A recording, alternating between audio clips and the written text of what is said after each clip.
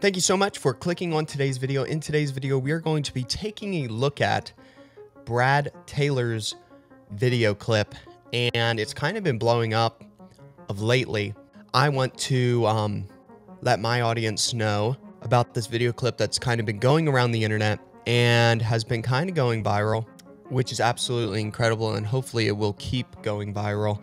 I'm to go ahead and play the video for y'all to watch. His name is Brad Taylor, and absolutely incredible kid. The funny thing is, is that I thought this video had just came out, right? And I start digging and digging and digging because I just need, I just want to find the raw video clip, okay? And I will, um, I'll link the raw video clip down in the description down below um, because nobody else was doing that. So I'll do that for you. I kept digging and digging and digging and digging. I'm like, dude, like for this video that just popped out of nowhere and people were acting like it was very like new news or whatever. I'm like, I can't stink and find it, but I finally found it. And it was actually, um, this all happened July 14th, 2021. So little over a year ago. And I thought that was kind of funny, but nevertheless, this kid is absolutely incredible. So I'm going to I'm going to give him the spotlight and uh, we're just going to sit back and listen to this kid talk. So here we go. Hi, my name is Brad Taylor, and I just finished my freshman year at RHS. Um, I've been a part of District 196 schools now for 10 years, and I'm going to give you a glimpse today of what's actually going on inside these schools.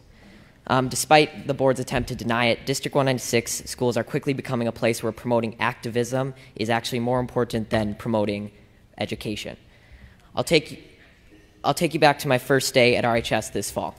The principal came out and gave us a heartfelt speech about equality and standing together. Um, he began to list countless races, such as Latino, Asian, expressing how much they matter and how important they are. But never once did he mention a race or identity that reflects me, or half the kids that were in the class. Now, members of the board, I know you haven't been to school in a while, and I know most of the people, I know none of you, or most of you, don't have any kids left in the school district. Um, but you must admit how uncomfortable it will be to be characterized just by your skin color on the first day of school and be thought that you were wrong just because of your skin color. So I will never forget the look one of my friends gave me from across the room as we were sitting there listening to this blatant bias being expressed in the so called equity statement by the leader of our school. To be clear, I don't need you to tell me that I matter, but hearing the condolences given to other races and leaving just one race out it inevitably you'll start to feel like you've done something wrong. And in our principal's attempt to unify us, he instead created unwarranted boundaries and barriers between his students, pitting us against each other based on characteristics that we can't control. In another separate instance, I was told that writing All Lives Matter on the whiteboard was political and could be seen as offensive. When I questioned the teacher after class, she told me that she didn't have an answer and she just had to erase it, and it was quickly erased. There are political signs all over RHS, specific about specific races that matter, specific sexual orientations that matter, and specific perspectives that matter. But when I questioned the RHS administration about how these signs were political, they told me that they were supporting human rights. So when I questioned why the equity statement couldn't represent all students, they told me that to even ask that question was outlandish and offensive. And they, uh, when I asked why that was, they told me, quote, whites have a pretty good situation right now, unquote. So is that not racism? Disregarding my question merely because of the color of my skin. To be honest, after enduring a year of the people in charge telling me that I'm a racist and I'm privileged and pointing out our irreversible differences, I've never noticed race more. And it's becoming the first thing I notice when I meet someone, which has never before been the case. RHS administration confidently told me that RHS students and staff are happy with their equity statement, but from the, my experience in talking with other students, this is not the case. I know many kids who disagree with their teachers, but they're too scared to stand up because they're worried that their grades will be docked and their learning experience will be affected.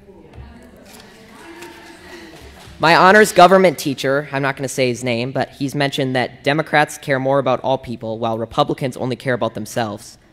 And he's also inferred to us that socialism is better than democracy. He even had a statue. He had a statue of a socialist leader in his classroom. Um, I have been I've been told by a lot of kids that they just stay silent and adjust their schoolwork to reflect an acceptable opinion to secure a good grade. I've been approached by multiple teachers who have told me in private that they just want to say that they agree with me and they support me standing up, but they can't say it in front of the class for fear of being disciplined by the administration in some way, or losing their jobs. There is clearly only one way to think in this district, and that is that they are teaching their kids to shut up if they don't agree. Now, members of the board, I want you to take a good look at yourselves in the mirror tonight and ask Are you really standing up for the equality of all people, or are you just pushing a damaging political ideology um, on, on our students?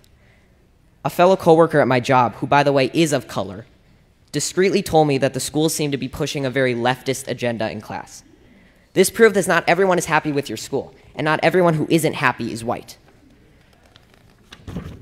Now, due to all these instances I've mentioned and many more that I can't fit in this five minute speech, I have decided to leave this district and continue school on a private Christian school online. And and there will be sacrifices, and I will not get to walk in the graduation ceremony or attend milestones at RHS, but I will be able to learn in an environment that is not intent on punishing me daily for my skin color and political views. Now, regardless of how you take my speech, whether you just shrug it off as malarkey or Fox News talking points, I encourage you to think about it, because someday I'm going to be a leader. I may be the president, a governor, or just a professional golfer, but I will never stop believing that everybody has value, no matter their skin color or personal beliefs. And it's a shame that you're not going to be able to say that I was an alumni of RHS in District 196. Thank you. Real quick, I just wanted to tell you about the TexasBoys.com. It's our little farm shop that our whole entire family runs. We pack up all the orders. And the amazing, beautiful thing about the TexasBoys.com is, is that we have our own amazing, wholesome, very, very healthy for you products, uh, unvaccinated honey, which is kind of funny about this article. And we have our own coffee line and several other different types of incredible products over at the texasboys.com. Um, the beautiful thing is, is that you're not just supporting us, you're supporting another farmer, coffee grower, um, beekeeper uh, out in our community. So it's like a win win. You're killing two birds with uh, well, kind of killing three birds with one stone. You're you're buying a high quality product that will nourish your body.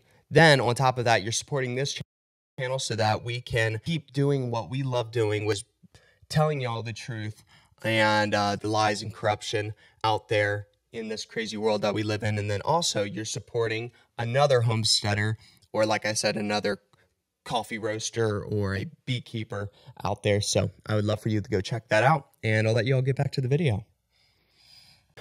Well, there you go, y'all. That is the video that's been circling around the interwebs. And that young man, Brad, I don't know if you're watching, but if you're watching, um, you are way smarter than me. I'll say that. And uh, you got straight up guts straight guts, dude. And you're one out of millions of kids that have absolutely no guts and they're a bunch of TikTok freak left crazy stupid kids that just will shut up and go with the flow and congratulations for swimming upstream as a biological male and fighting the good fight. And it's awesome that he is leaving this school. That is great. That's what, you know, that's just what we need to do, y'all. And this is coming from another kid. Uh, this is coming from another young adult. I wanted to react to it because personally, as a younger person of the youth, I absolutely love this and I admire this young man. And um, absolutely incredible. He's only um, well now he's now he's 16. He was 15 when he made this speech, and nowadays you just never see that in young people. Um, I always see so weak and um, immaturity, and then to see somebody so mature and bold and he knows what he believes like and he has standards and um, he doesn't just bend to the will of um, these disgusting tyrants. And for people, there's actually people that are confused about this T-shirt here. Not today, Schwab. So um, I'm not wearing like um, Schwab's face on my uh, shirt because I support him. I don't. So that's why it says, not today, Schwab. If you don't get the saying, uh, there's uh, t shirts out there that say, not today, Satan. So, you know, it's kind of, it's a funny, okay, it's a funny. So, anyway, absolutely incredible speech. He said it perfectly, beautifully. Everything the government does, whatever they say they're trying to do, take what they're saying and their real goal is the direct opposite of that. So they want everything to be inclusive, inclusive, inclusive, inclusive. And then you go and write All Lives Matter on the chalkboard, and they're like, you're a racist, you're a white supremacist, and white people are so much better than everybody else. And that's just so not true at all. And all lives do matter. And we are all created equal. You know, that that just that's the government. That is the government for you. And then also you got teachers in there that don't want to stand up because they don't want to lose their job, which is so silly too because come on. Like the teachers don't make that much money at all. Uh, I mean, mere pennies compared to what these other higher ups in the school boards and crap like that make. And they have to deal with all this garbage. And personally, if I was an intelligent teacher, I would stink and quit. Or, even better yet, before you quit, speak out against this garbage. And if they fire if they fire you, they fire you. But get fired because let them fire you because you are speaking out the truth. And I personally think more kids should just be standing up for their freedoms and um, just keep talking about this, keep spreading the news. Also, that's the other beautiful thing about being homeschooled, y'all. I've been a homeschooler all my life. Don't regret it. Absolutely so thankful for my parents homeschooling me my whole entire life. It's beyond too easy to be homeschooled in 2023. Like he said, he's going to go do an online Christian school. Yeah, I would too because all of like like he was saying, like he was saying, you're not learning anything there. All you're learning about is that you're white, you're disgusting, we don't need you. Every other race matters except for you. You're disgusting. Shut up. Uh, get with the program. I have another young man just like this that I know, and he was in the public school indoctrination camp, as I like to say, which it is. And he just left because um, he said he would get, I made a video about this a month or so back, and he said that he might get 30 minutes of real education out of the whole entire day that he's there. And all the rest was absolute bogus, garbage, stupid stuff, just like this. Um, but then on top of all this, y'all, on top of all of this garbage that happens in all the schools, every dang single one. If somebody comments on this video and says, not my school, that is a bunch of malarkey, garbage, bull duke, okay? Garbage. It's happening in every stinking cotton picking school.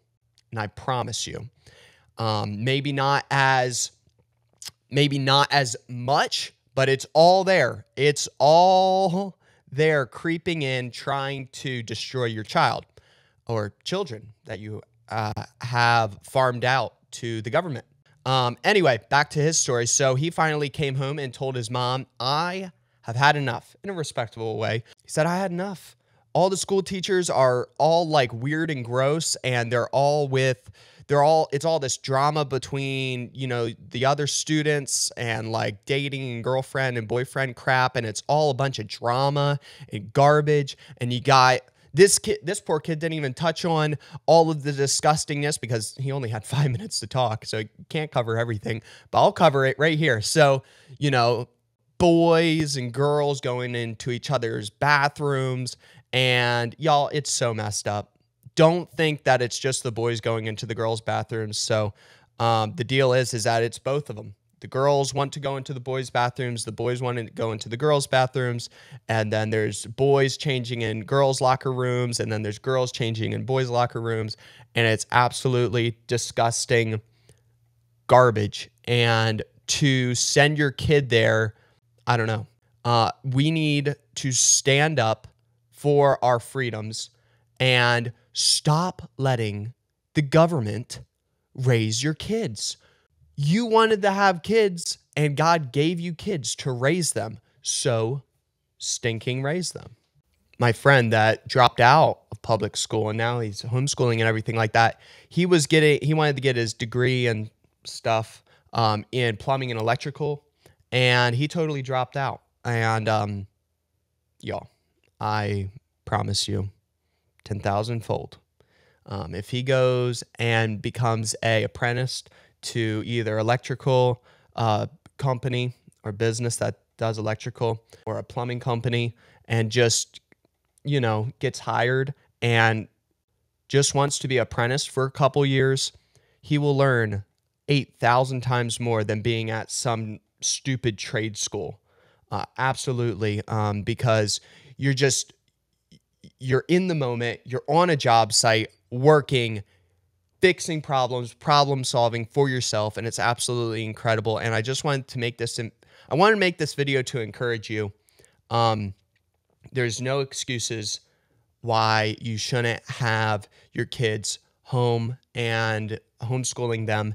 And I am talking to the bell curve. There are crazy, crazy, crazy, crazy, crazy, both on both sides of the bell curve. But I'm talking about the bell curve. And yeah, all schools, I will, I'll shoot, I'll say this straight up out loud, and I don't care. Um, all schools are corrupt. Christian schools, uh, public schools, they're all corrupt. Um, like I said in the past, Christian schools, all they do is once in a while say God and crap like that in there, and that's all. It's all there's all this still all this garbage and drama. Trust me, I've been hearing all types of horrible, disgusting stuff that's been happening in our local Christian schools, and it will make you want to vomit.